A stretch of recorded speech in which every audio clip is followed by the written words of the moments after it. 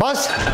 ਹੋ ਗਿਆ ਬਿਮਾਰ। ਓ ਮਾਈ ਗॉड ਹੋਰ ਖਾਣਾ ਬਾਹਰ ਤੋਂ ਸਵਾ ਕੇ ਹੋਰ ਡਾਫਲਾ ਮੈਕਡੋਨਲਡ ਹੋਰ ਪੀਲਾ ਕੋਕ ਆ ਦੁੱਧ ਦੇਖ ਤੇਰੇ ਕਿੰਨੇ ਵੱਡੇ ਹੋ ਗਏ। ਮੇਰੇ ਨਾਲ ਵੀ ਵੱਡੇ ਹੋ ਗਏ। ਆ ਜਾ ਮੱਝ ਵਾਂਗ ਮੁੰਡਾ ਹੋ ਜਾ। ਤੇਰੇ ਦੁੱਧੋਂ ਚ ਦੁੱਧ ਕੱਢਾਂ। ਕੰਜਰ। ਬਸ। ਹੋ ਗਿਆ ਬਿਮਾਰ। ਓ ਮਾਈ ਗॉड ਚੁੱਪ ਕਰਕੇ ਬੈਠਿਆ ਨਹੀਂ ਜਾਂਦਾ ਤੇਰੇ ਤੋਂ। ਜਦੋਂ ਸਾਰਾ ਦਿਨ ਆਪਣੇ ਫਰੈਂਡ ਨਾਲ ਆਈ ਆਈ ਆਈ ਆਈ ਆਈ ਲੈਣੀ ਤੇ ਦੇਣੀਆਂ ਲੈਣੀ ਤੇ ਦੇਣੀਆਂ। ਜਦੋਂ ਸਾਰਾ ਦਿਨ ਭੌਂਕੀ ਜਾਣਾ ਫਿਰ ਬਾਸੀਆਂ ਆਉਣੀਆਂ। ਹੋਰ ਕੀ ਹੋਣਾ? ਕੰਜਰ। ਬਸ ਹੋ ਗਿਆ ਬਿਮਾਰ। ਓ ਮਾਈ ਗॉड ਹੋਰ ਦੇਖ ਲੈ ਫੋਨ ਜਦੋਂ ਰਾਤ ਨੂੰ ਫੋਨ ਦੇਖੀ ਜਾਣਾ ਖੰਗੀ ਆਉਣੀ ਆ। ਦੇਖੋ ਸਰਦਾਰ ਜੀ ਖੰਗਣ ਲੱਗ ਪਿਆ ਬਿਮਾਰ ਹੋ ਗਿਆ। ਪੜ੍ਹਾਈ ਨਹੀਂ ਕਰਦਾ Why? ਨਸ਼ੇ ਕਰਦਾ Why? ਖੁਸਰੇ ਛੇੜਦਾ। ਮੈਂ ਕਦੀ ਨਹੀਂ ਫੋਨ ਨੂੰ ਹੱਥ ਲਾਇਆ ਜ਼ਿੰਦਗੀ 'ਚ ਮੈਨੂੰ ਕਦੀ ਖੰਗਦੀ ਨਹੀਂ ਦੇਖਿਆ।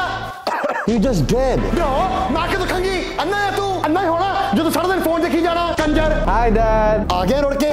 ਕਦੇ ਤੁਰ ਲਿਆ ਵੀ ਕਰ ਬਸ ਇਹਦੇ ਉੱਤੇ ਬੈਠ ਕੇ ਝੂਟੇ ਲੈਣਾ ਰਹਿਣਾ ਸਾਰਾ ਦਿਨ। ਆਈ ਡੋਨਟ ਹੈਵ ਲੈਗਸ ਜਦੋਂ ਲੇਜ਼ੀ ਰਹਿਣਾ ਐਕਸਰਸਾਈਜ਼ ਨਹੀਂ ਕਰਨੀ ਤਾਂ ਹੀ ਨਹੀਂ ਤੇਰੇ ਕੋਲ ਲੱਤਾਂ ਹੈਗੀਆਂ। ਮਿਹਨਤ ਕਰਨੀ ਪੈਂਦੀ ਹੈ ਲੱਤਾਂ ਲਈ। ਮੈਂ ਇੰਨੀ ਐਕਸਰਸਾਈਜ਼ ਕਰਦਾ ਰੱਬ ਨੇ ਮੈਨੂੰ ਤੀਜੀ ਲੱਤ ਵੀ ਦਿੱਤੀ ਆ। ਕਿੱਥੇ ਤੀਜੀ ਲੱਤ? ਰਾਤ ਨੂੰ ਦਿਸਦੀ ਹੁੰਦੀ ਆ ਦਿਨ ਨੂੰ ਨਹੀਂ। ਮੈਂ ਦੇਖੀ ਆ ਸਰਦਾਰ ਜੀ। ਚੱਲ ਗੜ ਗੜ ਗਿਆ ਕੰਜਰ। ਡੈਡੀ ਮੈਨੂੰ ਡਿਪਰੈਸ਼ਨ ਆ। ਜਦੋਂ ਪੜ ਰਾਣੀ ਫਿਰ ਡਿਪਰੈਸ਼ਨ ਹੀ ਹੋਣੀ ਆ। ਓ ਮਾਈ ਗॉड ਕੰਜਰ ਓਹੋ ਮਰ ਗਿਆ। ਓਏ ਮਰ ਗਿਆ। ਤੁਸੀਂ ਬਿਮਾਰ ਹੈ? ਨੋ ਮੈਂ ਨਹੀਂ ਬਿਮਾਰ। ਮੇਰੇ ਬਸ ਕੈਂਸਰ ਆ। ਉਹ ਵੀ ਬਿਮਾਰੀ ਆ। ਤੈਨੂੰ ਕੀ ਪਤਾ? ਤੂੰ ਡਾਕਟਰ ਆ? ਓ ਮਾਈ ਗॉड ਕੰਜਰ।